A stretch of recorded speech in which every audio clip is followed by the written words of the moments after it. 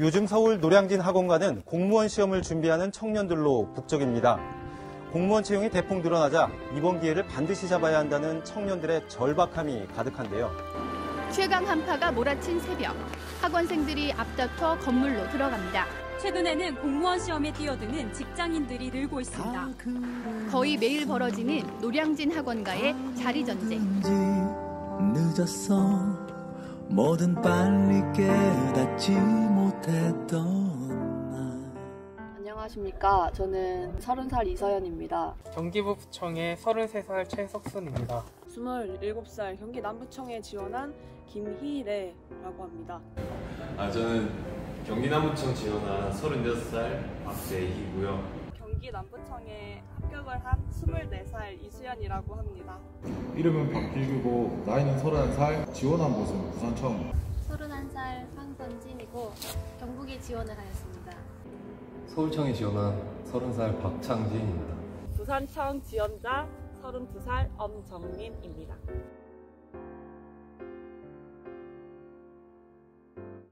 총 6년을 했고 이렇게 길어지게 될 줄은 사실 몰랐는데 우선 처음엔 어, 나를 믿어줬던 사람들이 계속 지지해줬는데 이제 점차 점차 믿어줬던 친구들이랑 부모님도 아, 이제 그만하는 게 어때? 이 얘기 듣는 게 되게 힘들었고 그래서 친구들이나 주변 사람들의 시간은 계속 흘러가는데 어, 전 혼자 시간 제 시간만 멈춰 있는 그런 어두운 그런 방 안에 갇혀 있는 기분을 항상 느껴서 많이 힘들었지. 6년 한데 어떻게 하는 거니 제일 슬펐었을 때는 할머니가 결국에 3년차 때 돌아가셨거든 그때가 제일 슬펐지. 그때는 진짜 다 내려놓고 포기하고 싶었지. 두려웠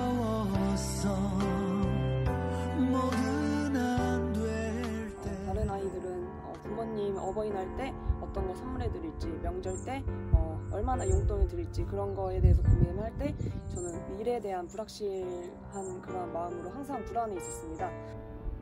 새벽에 이제 집에 혼자 걸어가는데 저 멀리서 하얀 강아지랑 이제 엄마 아빠가 같이 걸어오고 있는 거예요. 그래서 그때 멀리서 부모님 모습을 봤을 때 그때 처음이자 마지막으로 눈물을 흘렸었던 것 같아요. 저한테 이제 13살 어린 막내 동생이 있는데 그때 당시에는 9살이었어요. 근데 동생이 아무것도 모르면서 제가 떨어진 그 당일날 제 방문을 열고 들어와가지고 누나 괜찮다고 자기가 다 안 돼요. 누나 열심히 한 걸. 19년 1차 때 첫 합격이었는데 그게 한 5년 만에 합격인가? 그때 아빠가 나를 체력 시험장에 데려다 주셨다가 이제 가셔야 되는데 얘가 안 될 것 같다고 생각을 하셔서 데려가려고 기다리셨던 거야. 아빠가 내가 떨어져서 이렇게 막 나오는 것도 보고 나 태워서 가 이제 운전해서 집에 가시는 갔는데 그때 아빠 옆에서 떠서 눈물 진짜 많이 흘렸었어. 그때가 딱 이렇게 날 좋은 좋은 날. 엄마가 시장 갔다가 오시면서 엄마가 버스 타고 가는데 창밖을 봤는데 막 젊은 여자애들이 막 벚꽃나무 아래에서 사진 찍고 있고 이런 모습을 보니까 근데 집에 왔는데 우리 딸은 저 우중충한 시커먼 추리닝 입고 방 안에만 갇혀서 다 같이 낳고 막 그런 거 보니까 너무 마음 아프고 안쓰럽고 불쌍하다면서. 그 팔에 흐르던 땀은 증발하지 않아 자곡자곡 내빈 금의 이야기들로 차난 이제서야 봤을 때 기쁘긴 한데 실감이 안 나더라고. 진짜인가? 진짜인가? 약간 진짜 현실 같지도 않고 진짜 된 건가? 이 수험 번호가 내게 맞는 건가? 딴거 다 필요 없었다 그냥 아버지 하니까 아버지가 그래 이번에도 떨어졌나 전화 늦게 오는 거 보니까 좀 떨어진 것 같다 하는데 아니요 합격했어요 이렇게 말하니까 그냥 그 순간부터 온몸이 전율이 갑자기 그냥 저는 그냥 앉아 있는데 환호 소리가 들리더라고요. 아빠. 그 다음에 아버지가 갑자기 우시더니 번호 있다고. 아버지 되게 무뚝뚝 하시죠. 근데 처음으로 이렇게 아들 앞에서 웃는 것을 모습을 보이시더라고요. 엄마 목소리 듣자마자 그때부터 눈물이 나와서 이렇게 말을 계속 못하다가 엄마가 아우 우리한테 잘하자. 그래가지고 아. 포기하지 마. 아프면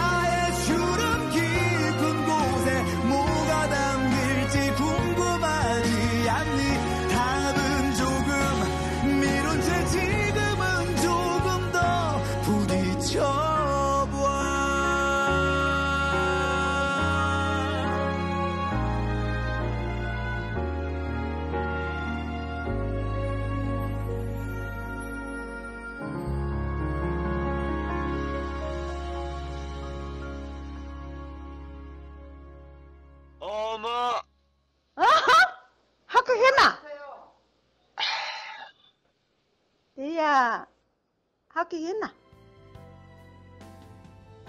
대야 울지 마. 대야 고생했다. 엄마 됐어 나. 그래. 엄마. 엄마가 더 죽겠다 지금. 다리가 떨리고. 엄마 사랑해. 엄마가 사랑하니까 고생했다